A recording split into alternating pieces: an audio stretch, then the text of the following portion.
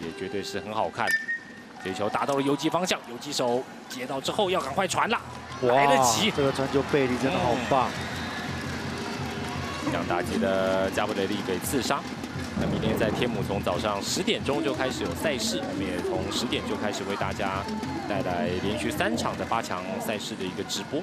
游击手今天呢，这个陈志军真的是攻守俱佳，非常的强硬。